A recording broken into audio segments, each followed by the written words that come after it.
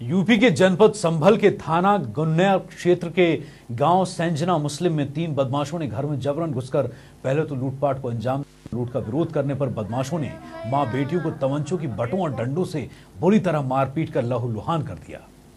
शोर शराबा सुनकर मौके पर आए ग्रामीणों ने बुरी तरह खून में लथपथ माँ बेटियों को अस्पताल में भर्ती कराया गया जहाँ पे इलाज के दौरान नफीसा नाम की महिला की मौत हो गई। गंभीर हालत को देखते हुए डॉक्टरों ने उसकी बेटी को अलीगढ़ के लिए रेफर किया। हायर सेंटर रेफर किया है और आशंका जताई जा रही कि लूट के दौरान माँ बेटी ने बदमाशों को पहचान लिया था और इसीलिए बदमाशों ने माँ और बेटी को बुरी तरह पीट पीट कर मारा और मरा समझकर छोड़कर चले गए।